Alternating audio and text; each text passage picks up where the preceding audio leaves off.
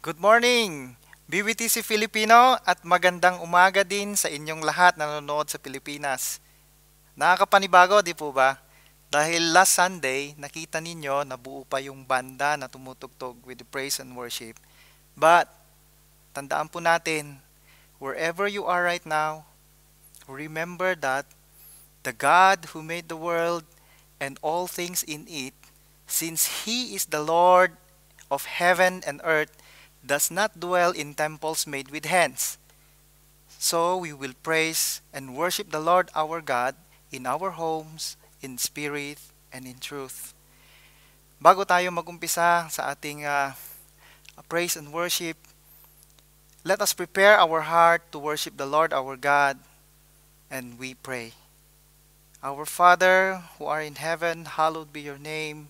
Your kingdom come, and your will be done on earth as in heaven. Panginoon, buksan mo po ang aming mga puso, pumasok ka o Diyos sa aming mga puso at gawin mong dalisay upang ang aming pagpupuri ay maging katanggap-tanggap sa inyong harapan. Humihingi po kami ng kapatawaran sa aming mga kasalanan at lubos ang aming pagsusumamo na kami ay iyong ibalik muli sa inyong silong ng presensya.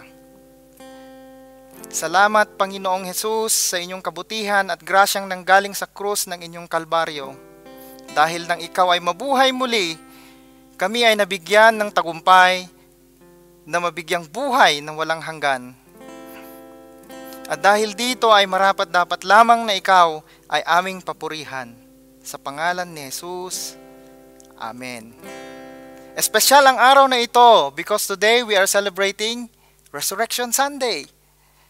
And this is the greatest day in history that death has beaten and God has rescued us. Sabi sa Luke 24:6-7, He's not here.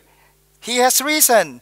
Remember how He told you while He was still with you in Galilee, the Son of Man must be delivered over to the hands of sinners, be crucified, and on the third day, be raised again. Buhay ang Panginoong Hesus! Buhay ang ating pananampalataya sa Kanya. Kaya tayo ay buhay na buhay na magpupuri sa Kanya.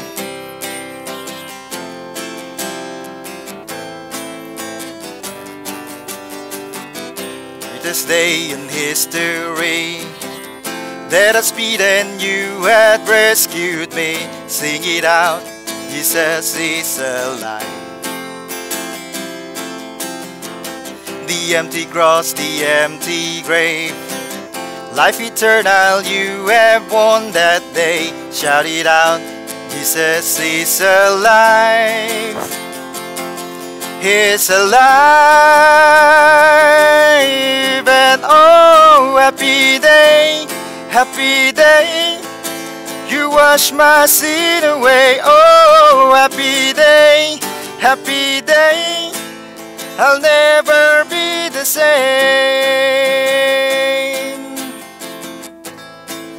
Forever I am changed.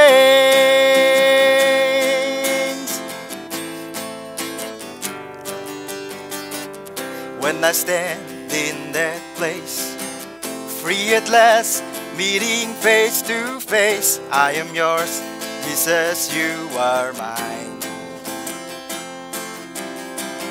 The endless joy, the perfect peace. Final vain, finally will be celebrate. Jesus is alive, and He's alive. And oh, happy day, happy day. You wash my sin away. Oh, happy day, happy day. I'll never be the same.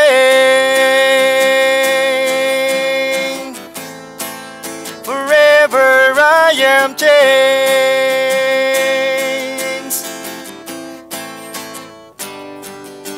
And oh, what a glorious day.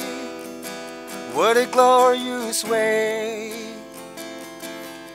that you have saved me and oh what a glorious day What a glorious day! And oh, what a glorious day. What a glorious way that you have saved me. And oh, what a glorious day. What a glorious day. Yeah. And oh, happy day, happy day. You wash my sin away. Oh, happy day, happy day. I'll never be the same. Forever I am changed, and I'll never be the same.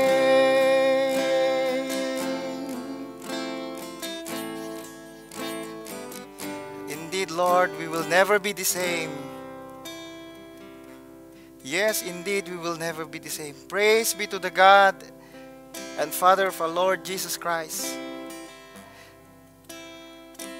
In, he, in His great mercy, He has given us a new birth into a living hope through the resurrection of Jesus Christ from the dead. For if we have been united with Him in a death like His, we will certainly also be united with Him in resurrection like His. You said, Lord, that you are the resurrection and the life.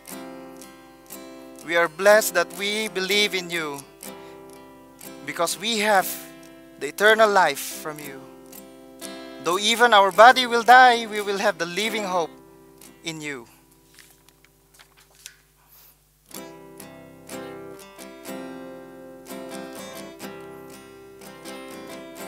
How great the chasm that laid between us. How high the mountains I could not climb. Desperation, I turned to heaven and spoke your name into the light. Then through the darkness, your loving kindness tore through the shadows of my soul. Work is finished, the end is written. Jesus Christ, my living hope. Yes, Lord, you are my living hope. Who could imagine so great a mercy? What heart could fathom such boundless grace? The God of ages stepped down from glory to wear my sin and bear my shame. The cross has spoken, I am forgiven. The King of Kings calls me his own. Beautiful Savior, I'm yours forever. Jesus Christ, my living hope. And hallelujah, praise the one who set me free. Hallelujah, death has lost its grips on me. You have broken every chain. There's salvation in your name. Jesus Christ, my living hope. And hallelujah, praise the one who set me free. Hallelujah, and death has lost its grips on me. You have broken every chain. There's salvation in your name. Jesus Christ, my living hope.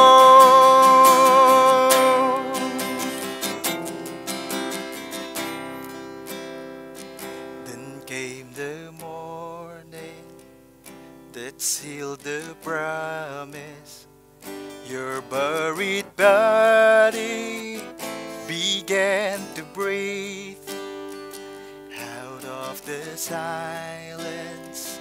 The roaring lion declared the grave has no claim on me. Then came the morning that sealed the promise. Your buried body began to breathe, and out of the silence, the roaring lion declared the grave has no claim on me. And Jesus, yours is the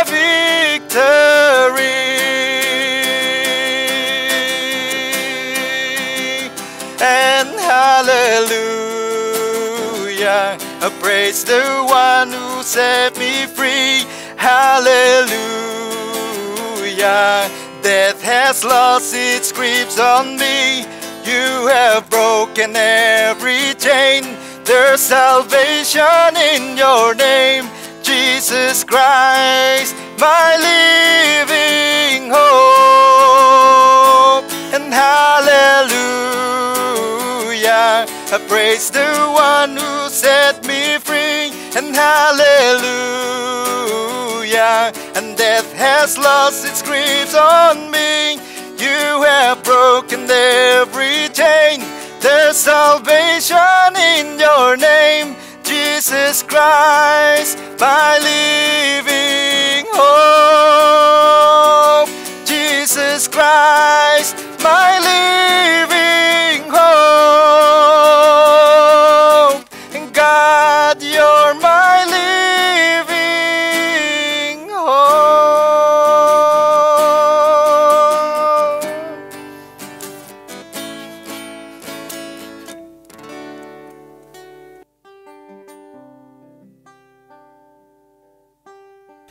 The observance of the Lord's Supper is a major distinction of Bethesda Bedok Tampines Brethren Church.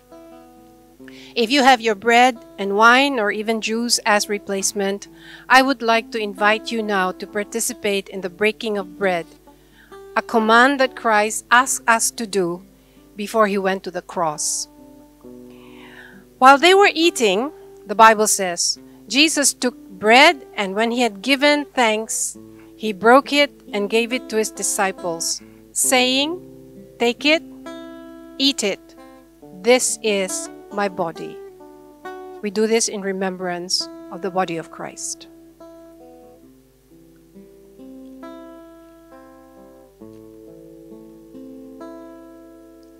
And then he took a cup, and when he had given thanks, he gave it to them, saying, Drink from it, all of you.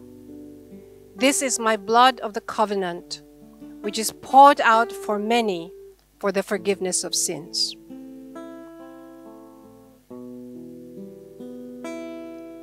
Shall we pray?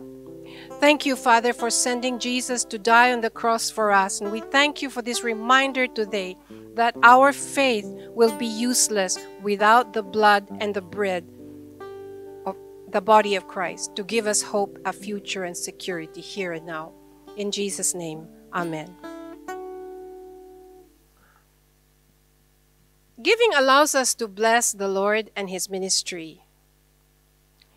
And the Bible tells us whoever sows sparingly will also reap sparingly, and whoever sows bountifully will also reap bountifully.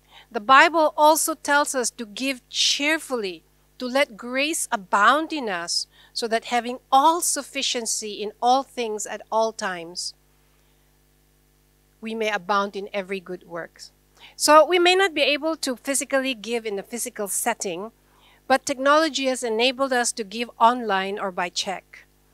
I'd like to ask you to write down what is on the slide or do a screenshot of it and generously give unto the Lord's work. Shall we pray? Thank you, Father, that our giving is a reminder that you are our great provider. We offer our lives, we offer our resources for the expansion of your kingdom. In Jesus' name, Amen.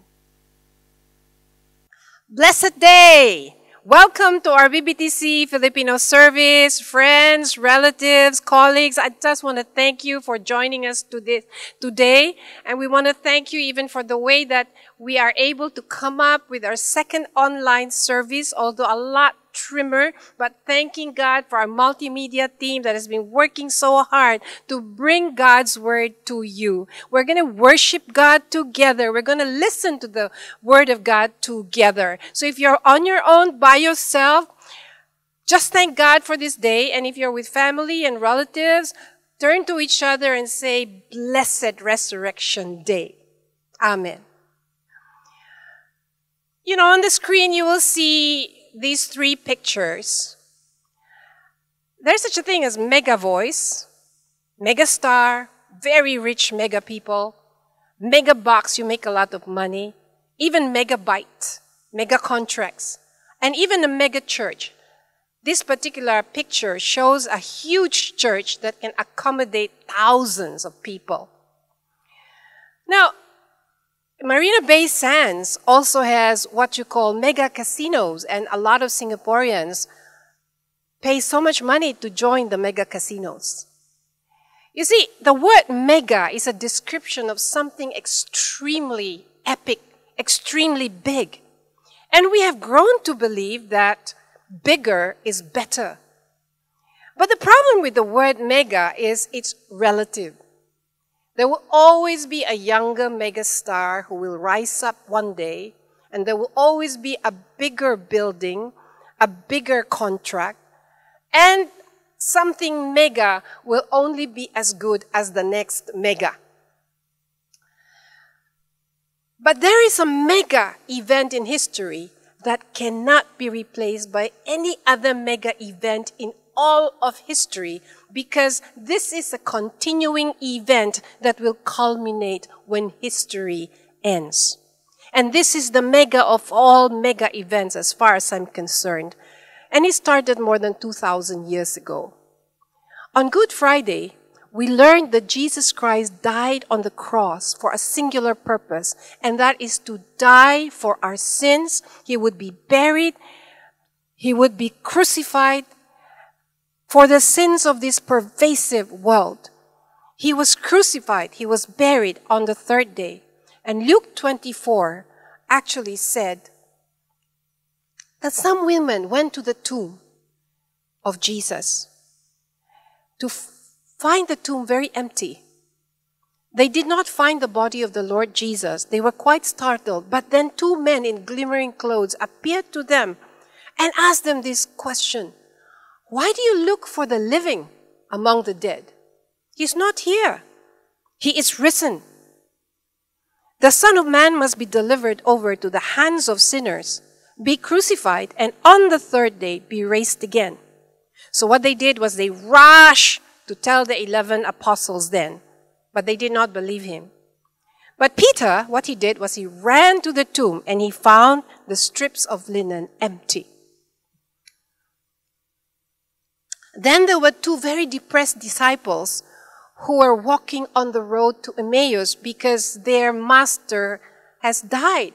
Jesus appeared to them, and when they recognized him, they headed back to Jerusalem and reported this thing again to the disciples that Jesus is risen indeed. And while the two disciples were talking, Jesus appeared to the apostles. Whoa! They were startled, they were frightened, they thought they saw a ghost. You see, ghosts don't eat, but Jesus Christ asked them for food. Jesus asked them to look at their, his hands and feet and to touch him because the, a ghost does not have flesh and bones. And then he reminded them, This is what I told you while I was still with you. Everything written about me in the Old Testament must be fulfilled. And this is what is written The Messiah will suffer and rise from the dead. I'm going to send you what my father has promised you. Stay here, but stay in the city until you have clothed with power from on high. Then, after 40 days of appearing before many followers, Jesus ascended into heaven in the presence of many, many witnesses. Before he ascended physically to heaven, he gave, he gave the Great Commission in Matthew 28, verses 19 to 20, that says, Go therefore and make disciples of all nations, baptizing them in the name of the Father, and of the Son, and of the Holy Spirit. And lo, I am with you always to the very ends of the age.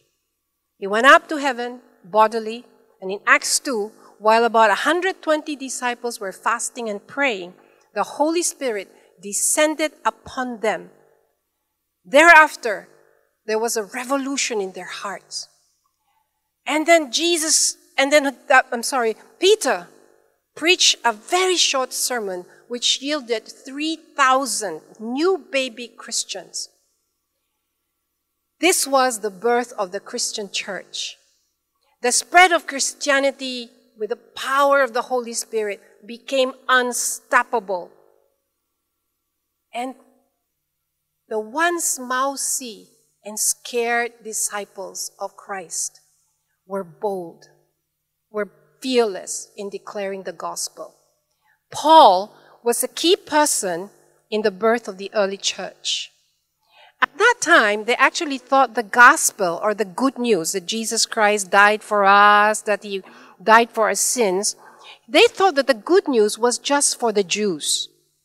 But when the non Jews began to respond to the good news, the apostles realized that Jesus' good news transcended the dividing line of culture, race, age, and color. And Paul, he was to share the gospel to the non Jews like you and me. We are called the Gentiles. Now, he preached to many Gentiles. And one of the places he preached was Corinth, which is a Roman colony. It was like Singapore, full of permanent residents and people of different nationalities, an intellectual cosmopolitan hub, and very, very prosperous in the Greek world. And he was one of those who founded the Corinthian church. Now, being a new church, it wrestled with several issues and one of the issues Paul had to address was that the resurrection of the body is not true and very offensive, in fact. And people believe that once you die, you die, you're dead, that's it. But in 1 Corinthians 15, NL, and I'm reading from the New Living Translation, Paul says, and let's all read this together. It's a bit longer, but I abridged it. Let me now remind you of the good news I preached to you before. You welcomed it then, and you still stand firm in it. I passed on to you what was most important. Christ died for our sins, just as the scripture said. He was buried, and he was raised from the dead on the third day, just as the scriptures said. He was seen by Peter, and then by the twelve. After that, he was seen by more than 500 of his followers at one time, and most of whom are still alive, though some have died. Then he was seen by James and later by all the apostles. And Paul said, I also saw him. Since we preach that Christ rose from the dead, why are some of you saying there will be no resurrection of the dead? For there is no resurrection of the dead, then Christ has not been raised either. And if Christ has not been raised, then all our preaching is useless, and your faith is useless.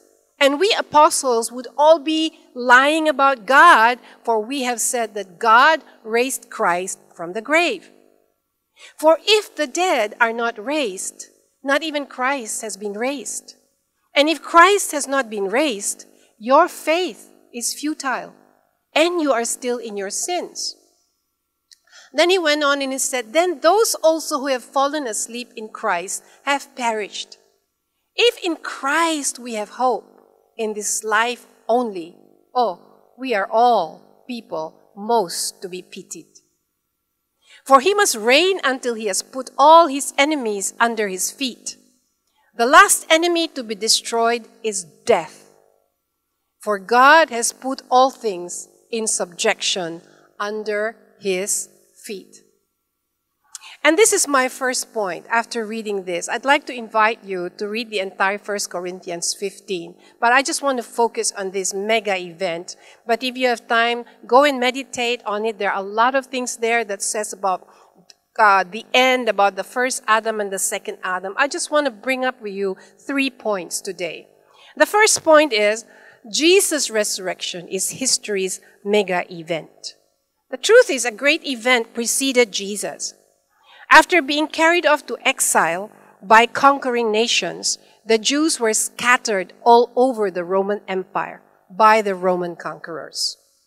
So by the time Jesus Christ came, people believed that he was a deliverer, the Messiah, the one who will save them from the Romans.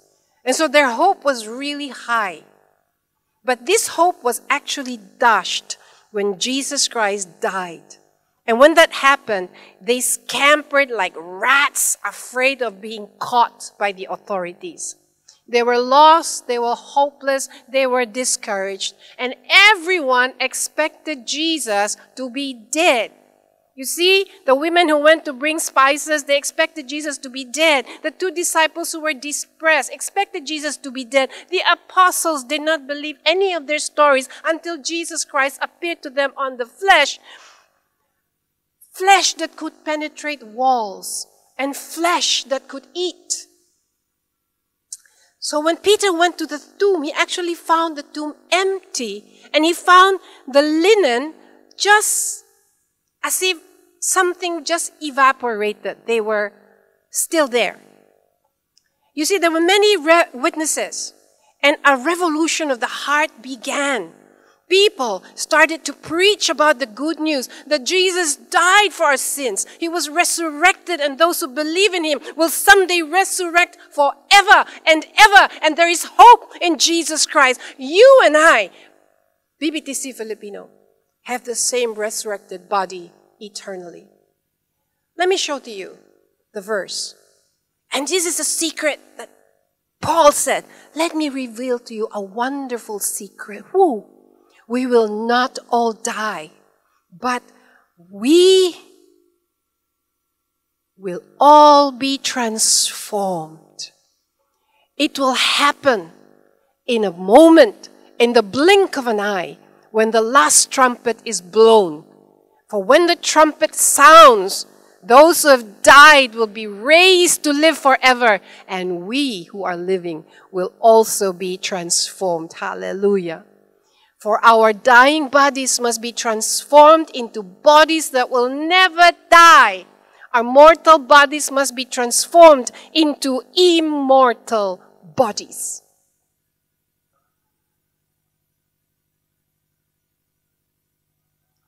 You see, there were many witnesses.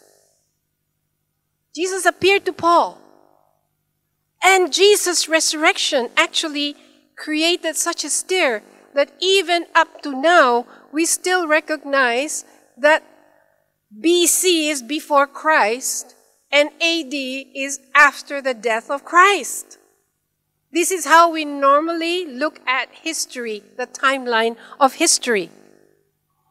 Before the resurrection, the apostles were a bunch of scared people huddled together because they were so afraid of being arrested. But after the resurrection and Pentecost in Acts chapter 2, the flame of the Holy Spirit fanned the lives of the apostles, except for John.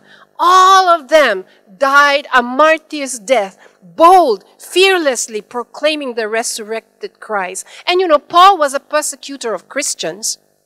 He was there when the kind and gentle Stephen was stoned to death for believing in Jesus Christ. On his way to Damascus, he met Christ. He was going to persecute the Christians, but he met Christ. and the persecutor became the persecuted. And he found many churches in the New Testament. What happened? Paul considers this very question in 1 Corinthians 15 12 to 19. What if Jesus is not risen from the grave? What if there is no resurrection?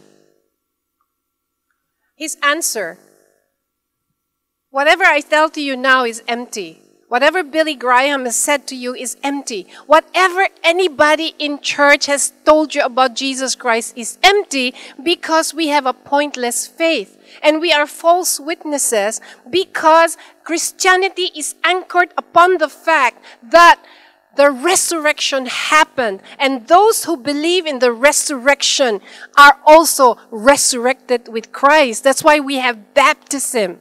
That's why we said, the life I now live in the flesh, I live by faith in the Son of God who loves me and gave himself for me. We would be very deceived. And we would still be in sin because Jesus Christ came on the earth to die for our sins. He had to die and he had to live, but we'll still be in our sins if there is no resurrection. And this is it. The dead in Christ are still dead. And not only that, we will be very pitiful people because we are preaching a gospel that is not true. Without the resurrection, there is no faith. Everything that Paul and the apostles preach and all the Sunday sermons, Sunday sermons are meaningless. But you see, the resurrection is real, not just on as far as the Bible is concerned, the resurrection is real because we see it in people's lives, transformed lives, beginning from the apostles and a few other people with all, all throughout history. And this is my second point.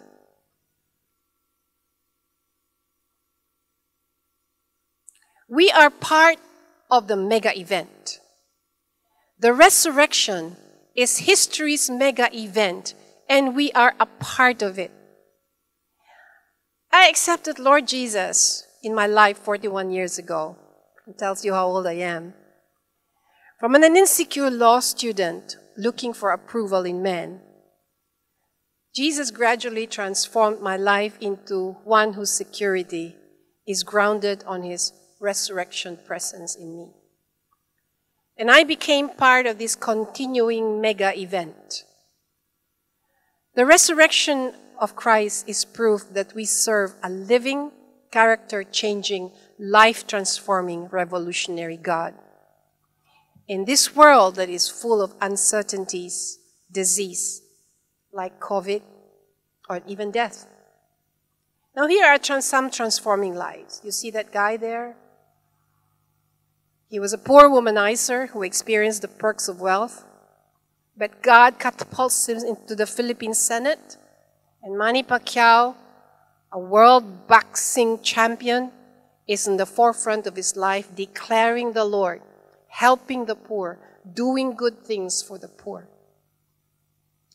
You see Billy Graham, a young farmer, making a huge difference in the world by sharing the gospel when hundreds and thousands of people came to know the Lord. Among us, BBTC Filipino, I can easily mention Rovi, one of our cell group leaders who experienced the freedom of forgiving her abuser. Then you have Ming in the kitchen ministry.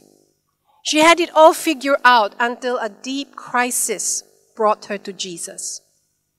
She and her family now attend our church, praise God. And our worship leader, Blas, Kuya Blas, the intelligent, tough guy from Ilocos who is now our worship director. You see, instead of exalting ourselves, we are told, be humble. Instead of hating our enemies, we are told, love them. Instead of fearing death, because death has no hold over us, we are taught, we are taught that we are securities in Christ. These are life changing ideas and life changing lives.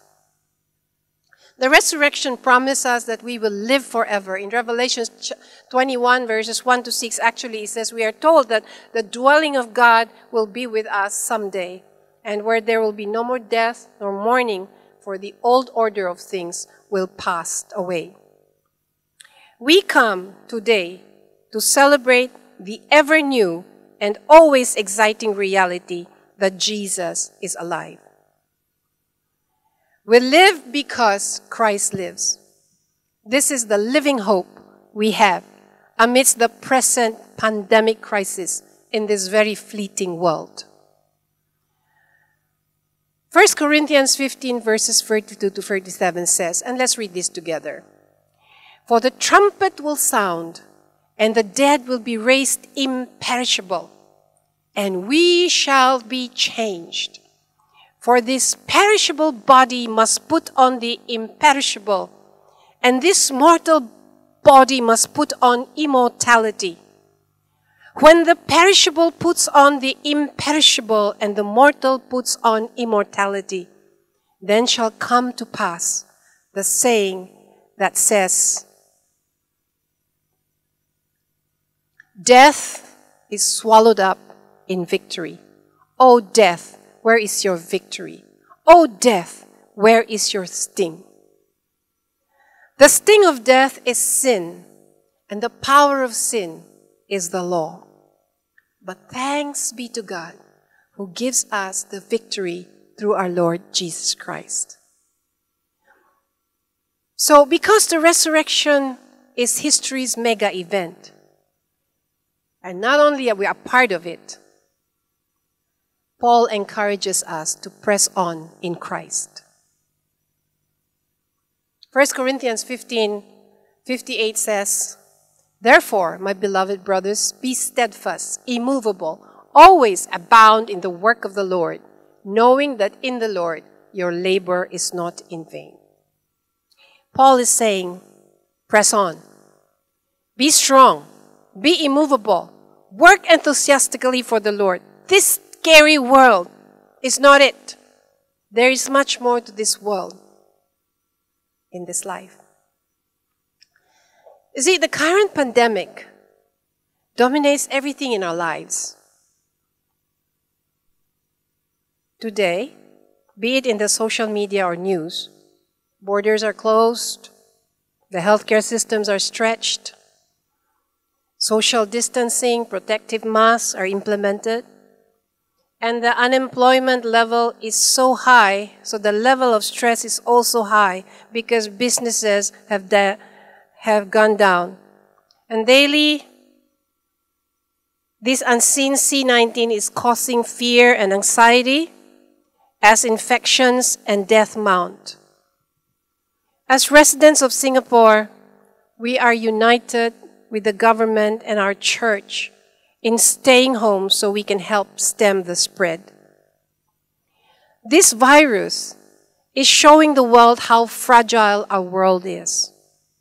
It has sent the world market on a free fall and the economies of the world on its knees. Our healthcare systems, our political, medical, church, and even family leadership are being tested.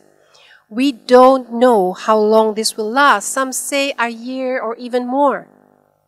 Reverend Edmund Chan of one of the biggest churches here in Singapore says, let us not miss on the reality that this pandemic is not the last of our global crisis. This is part of what they call an eschatological birth pains. In other words, this is just the contraction before the birth of a child, meaning this is just the beginning of the end times as revealed by Jesus in Matthew 24, Luke 21, and Mark 3. So while C19 is causing stress in the world, BBTC Filipino and you who are attending our service now, I'd like to just tell, share my belief that this could be a defining hour for all of us. It is not business as usual po. Three weeks ago, we were meeting in the chapel enjoying anointed worship, listening to anointed preaching, eating the food from our anointed kitchen ministry, learning from our anointed teachers, partaking of the bread and wine together, practicing for today's resurrection Sunday. Today, you are worshiping with us where you are without the physical structure of BBTC. All of a sudden, the great strength of the church, which is the physical community of believers, is not with, is not with us today. We have not met in the physical structure of BBTC for the last three weeks, but for the last two weeks, we have intensified our online prayer, cell group meetings, trainings among our people. We had our first online service, and we have reached a thousand people. Moreover, that I am encouraged to know that many of our CGs are meeting for prayer every day online. It is challenging us how we do our discipleship when we cannot meet physically to worship the Lord. COVID has shown what really matters most in life. It is our relationship with the resurrected Creator God. Three Sundays ago, I encouraged you to pray, not to worry, to count your blessings, to claim God's promises of protection, to consider your responsibility, and to continue the work of Christ. As we press on, being strong and immovable, I'd like to encourage you to do the following. Let's have a pandemic of prayer. This is a defining hour for us. For us Christians, this is a time to pray and repent of our sins of pride, of dishonoring the Lord, of ignoring the Lord, of taking him for granted in 2 Chronicles 7:14. Pray for the Singapore government and the leaders. Pray that the Philippine local officials will have wisdom and good management to distribute the goods that are meant for the poor, for those who need it. Pray for your employers and your neighbors. Pray for opportunities to share the gospel. Be like Fanny, the example of Fanny. She just said something like, she sent me a message uh, yesterday and said, you know, we have been sharing to these people, to these neighbors of mine, and finally, one of them accepted the Lord. Pray that you will be intentional in sharing the gospel to your families here in the Philippines, like Kuya Mads. He shared the gospel to his sister in the United States. She accepted the Lord online. And now he's doing discipleship on her. Pray that as the world is saturated with the knowledge of C19, the world will be saturated with the glory of the Lord. Let's not waste C19. Pandemic of prayer. Let's have a pandemic of discipleship. BBTC leaders, BBTC Filipino leaders, step up your prayers for your members more. Step up your online discipleship. Focus on the ministry of the word. Now is the time to encourage your members to build the spiritual discipline of reading the Bible daily and meditating on the word because they have more time. Members, if your employers are fearful, pray for them. Be sensitively bold in sharing what matters most in life is the resurrected Christ. Deepen our walk with the Lord. You cannot do this without getting to know your God through the Bible. Build a pandemic of prayer. Let's have a pandemic of discipleship. And finally, let's have a pandemic of outreach. Press on. Be strong, immovable in sharing Christ because we have the resurrected Lord in us. Share the gospel anywhere, everywhere. Now is the time that people need to know their living hope in the midst of fear and anxiety. Our job is to share. God's job is to save. So let's share. Let's be bold. Let's be intentional. One of our sisters just SMS me today and she says, Praise the Lord, because I shared the gospel to somebody online, another gospel to somebody online. That person rededicated himself and the other accepted the Lord. Let's be creative. Let's be creative. God must be honored at this time. I don't want to die. But eventually, we will all go in that direction. I see the biggest problem is not dying from a virus or a sickness or an accident. I think the biggest problem is dying without hope, dying in fear, dying without Jesus, and dying with the, without the assurance that one day we will meet God face to face. We fear an invisible virus. But let me ask you something. Should we not fear an invisible God? Made visible in Jesus, who gives us a living hope, who gives us protection, who provides for us, and who gives us security now and forevermore? Let me leave this with you. Nothing you do for the Lord is ever useless. And as I mentioned earlier, let's press on. Let's build a pandemic of prayer. Pray daily. A lot of my friends, a lot of the people in BBTC Filipino, a lot of the people in BBTC are praying, praying. And even on Friday, we will be praying from 10 o'clock to 10 p.m. in the Love Singapore Day of Prayer. Join us. There will be a pandemic of discipleship and then a pandemic of outreach.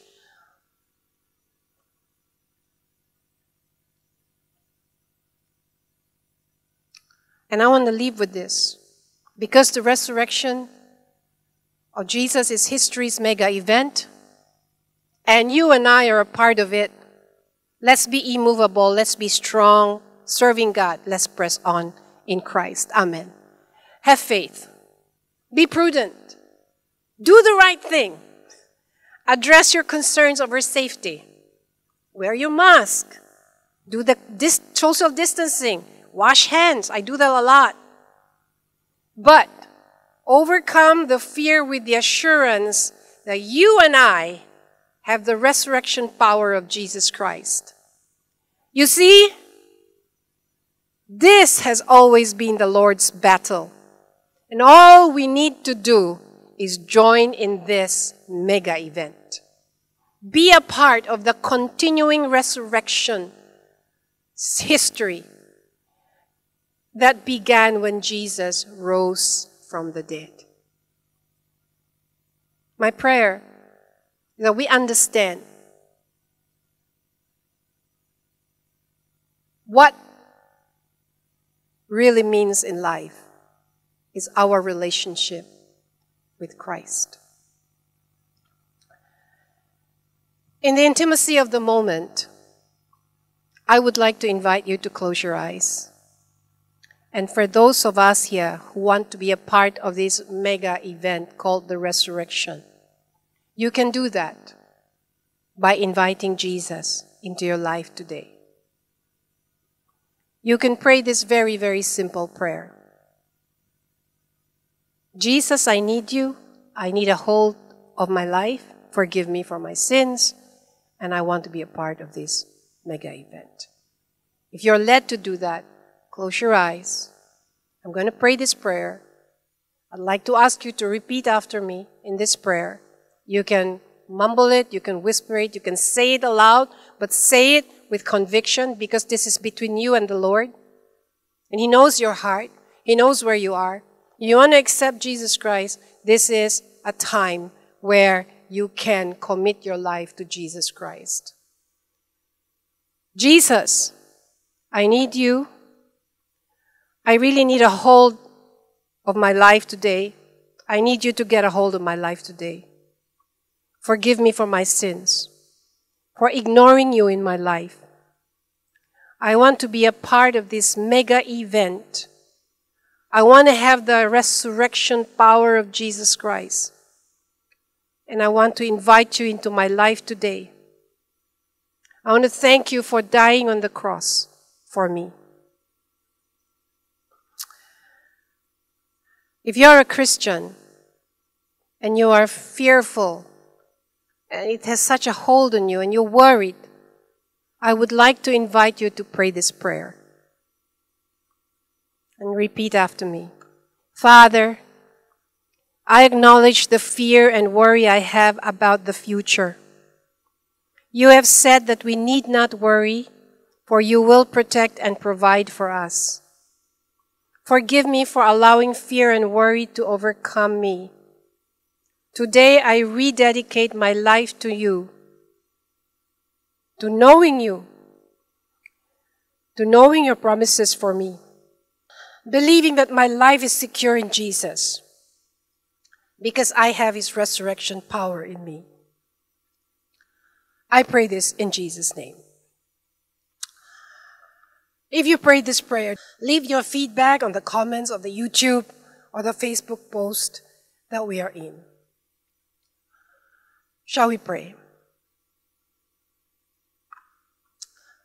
Father, we thank you for sending Jesus on the cross to die for us. Thank you that we have a living hope. Thank you that this living hope is only possible because of the resurrection of Christ, born out of the love that you have for us. And thank you, Lord, that you loved us before we even learned to love you. And thank you that because of your love, we can move on.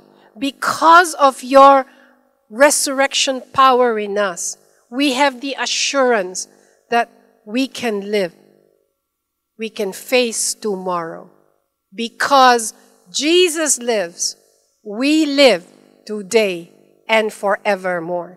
And may we be anchored on this truth. In Jesus' name, and all God's people say, Amen.